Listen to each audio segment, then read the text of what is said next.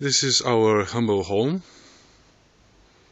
It is a ger, Mongolian tent called ger, or also you can call it a yurt. We live here with my partner for uh, already more than six months. We just love it. This is Nanke. Hi. Hello. This is our house from outside. And I must say, everybody who sees it says, wow, from outside looks so much smaller. And it is quite small. This is a 5 meter ger, which means that it has basically just over 5 meter diameter. It is just under 21 square meter. This is one of the smallest sizes of Mongolian yurts, at least for sale in uh, Europe. It is actually Mongolian made by uh, Mongolians in Mongolia and uh, sent over by train to the Netherlands by a company called, uh, it is a Dutch name, Nooit Meer Haast. So it so happened that a Dutch guy is helping Mongolians preserve their beautiful art.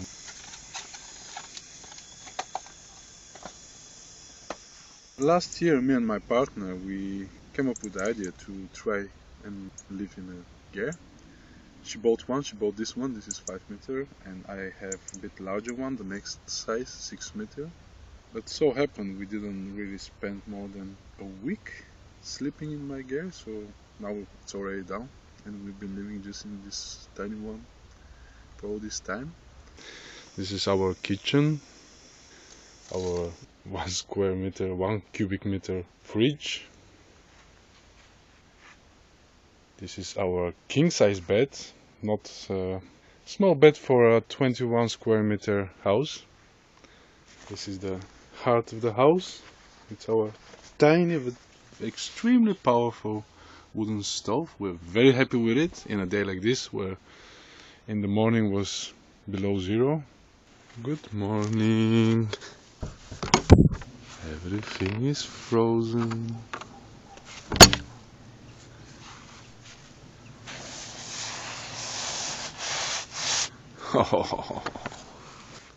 Maybe some people wonder how do we survive in the winter. Beautiful. Wow. First ice. Well, this is uh, over 2,000 years technology which is uh, been developed in a country where people live in the desert from plus 40 to minus 40 degrees centigrade.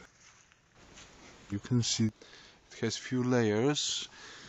Like this is the main one. It is a very thick field made from sheep wool. The tent has three layers. On top of it there is a layer which is uh, waterproof and on top of it there is a layer which holds all together and it makes it kind of pretty.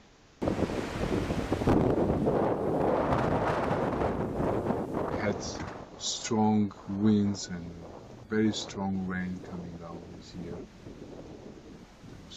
No leakage whatsoever. You have a window just above you,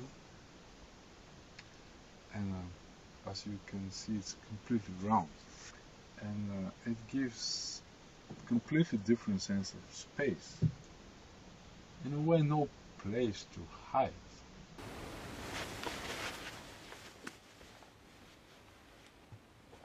visitors come and see the place and they just wonder how uh, two persons can live in such a small place.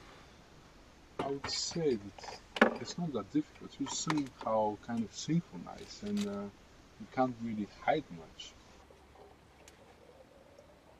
Sometimes I believe that people do like to live in uh, bigger and bigger and bigger houses with smaller and smaller and smaller families somehow to hide and not so much as the outside world, but to hide from themselves. And somehow it does not really work. So why not smoke?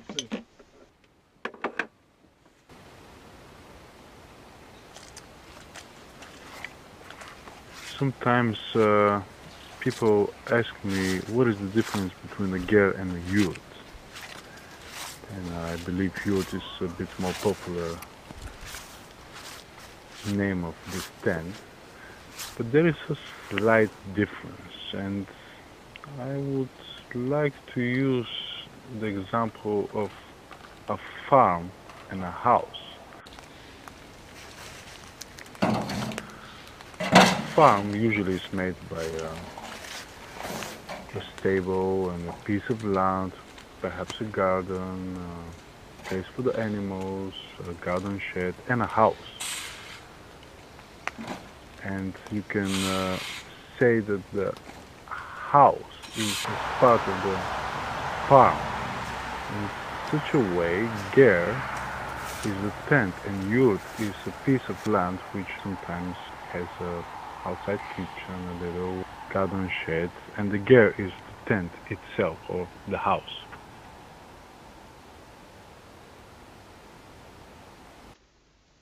We've been living in our little house for over six, six and a half months, which is love the place, love the way of life. It's very simple. We pay about 200 euros a month for electricity, water, internet. And not on last place is the location. Simply located on an amazing place.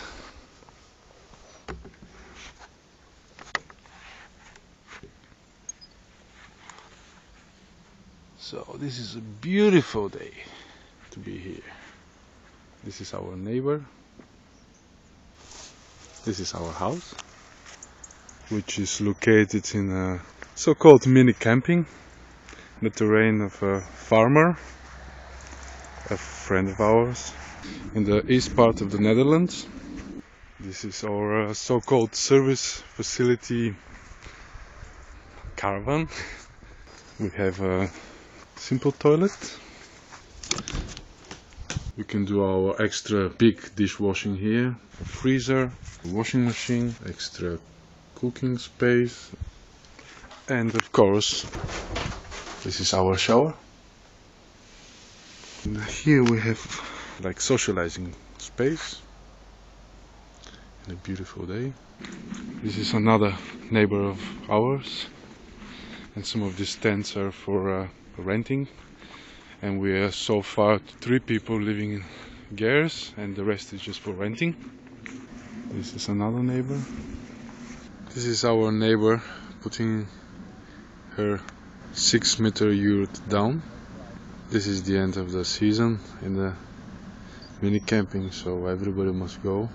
It is quite interesting because people have to improvise sometimes go in the terrain where it's slightly, let's say, not legal to to put up a ger. but uh, as soon as nobody complains, like neighbors and uh, and other people, there is no problem.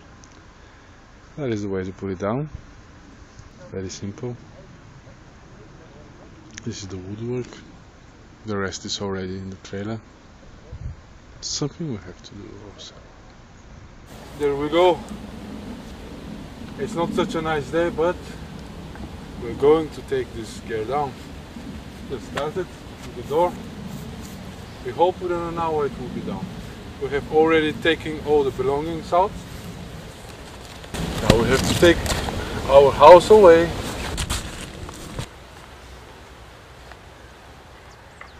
We had to move once and uh, it was quite an interesting experience because we spent the night, woke up in the morning, made our breakfast, packed everything out in one trailer.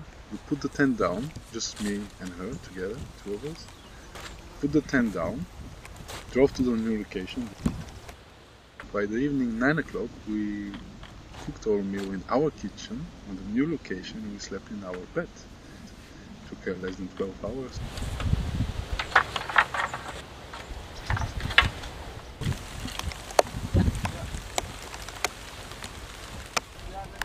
uh, so simple to put it up and down using your bare hands, no tools necessary. It's just so magical. Okay. Okay, And now it's time when uh, we have to move again. It is the end of October here in the Netherlands, and uh, regulations are such that places like this, many campings, have to close. We're moving to a farm which is owned by a friend of mine, and we can spend a few months there. And uh, hopefully next season we'll be back. This is what is left from the house, the bed.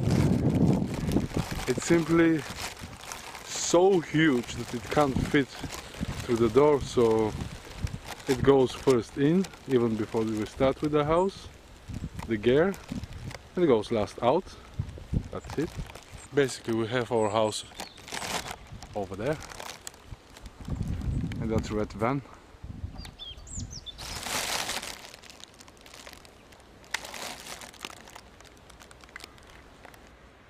I heard once someone saying that we suffer not from what we don't have, but mostly from what we have. And I can definitely relate to this. At the present, all my belongings fit basically in a small trailer, and I just love this.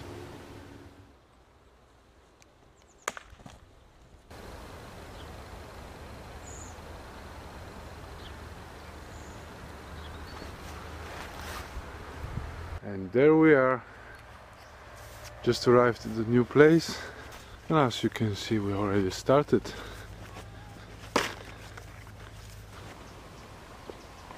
The ger is made from few layers. A wooden skeleton fastened by a tight rope must be erected. First the walls and the door, followed by the wheel and the roof. Then follows a white cloth which uh, has mainly a decorative purpose to make the inside of the ger brighter. The next layer is one of the most important ones in the insulation, made from filt, a very strong, thick, and in this case a heavy filt made from uh, sheep wool. We're almost done. We already have a visitor. The next follows the water resistant canvas, a very very important part of the ger in this rainy country. And at the end, the outer cover, which makes the tent pretty and uh, basically holds everything together. It's just incredibly well built, and you can just put it up and down yourself. It's like some some friends uh, joke. It, it is almost as uh, like IKEA house.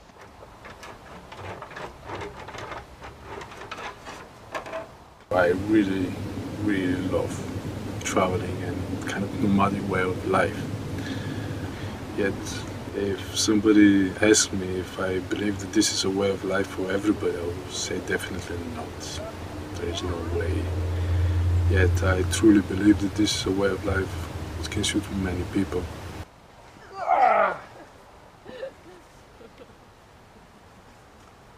I don't think that living in a small place in a simple way makes me happy or happier. Yet I truly believe that it gives me opportunity to be happier. Just like saying that living in a big house make you happy. It's, there is no way. Yet living simply definitely gives me opportunity to live happier.